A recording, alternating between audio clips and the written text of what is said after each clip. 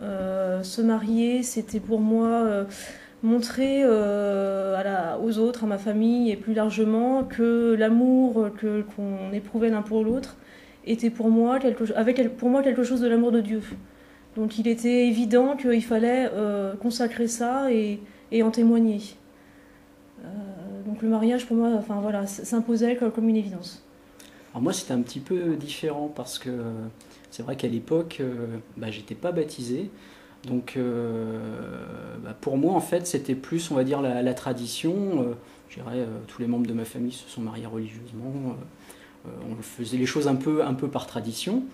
Mais aussi quand même à l'époque on va dire un profond respect pour la, foi de, Déborah et vraiment bah, l'envie de, faire les choses bien et puis aussi peut-être un peu d'approfondir les choses.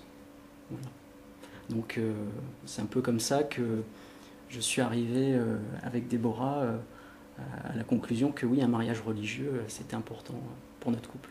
En fait, on a eu une très riche période de préparation au baptême avec le catéchuménat, qu'il a commencé individuellement, et puis après, on, m'y a associé un petit peu plus sur la, sur la fin.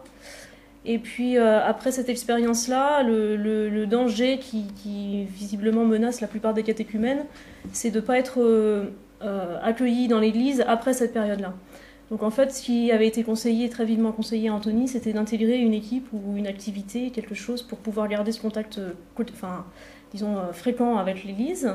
Et donc, on, il a du coup opté pour la, suivre la formation diocésaine, qu'on a décidé de faire en couple aussi, puisqu'il nous semblait important de, voilà, de, partager ça. Donc, on a fait trois ans, pendant trois ans la, la formation diocésaine. Et puis ensuite, on s'est dit que vraiment ce qui nous avait plu dans cette formation, c'était l'aspect équipe. Donc on a cherché à intégrer une équipe euh, de prière, de, voilà, de, partage de, de, couples chrétiens. Donc on est rentré aux équipes Notre-Dame. Donc on a aussi cette, cette activité-là euh, qui, qui, est une activité mensuelle et qui nous, voilà, qui nous plaît beaucoup. Et puis aussi, euh, voilà, la double démarche, c'était de se dire, voilà, maintenant on a reçu énormément et on a vécu des très belles choses.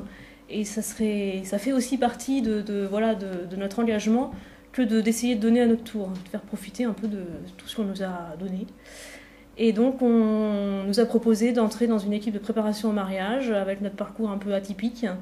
Et, euh, voilà, on a accepté. Et, puis, dans notre paroisse on a décidé de faire ça dans, le cadre de la paroisse et ça nous permettait en plus d'intégrer un peu plus, un peu plus près euh, la vie de la paroisse. Ben, on est dans une, dans une démarche d'accueil, euh, euh, de partage et de, témoignage sur notre expérience de couple, pas plus, pas moins, je pense.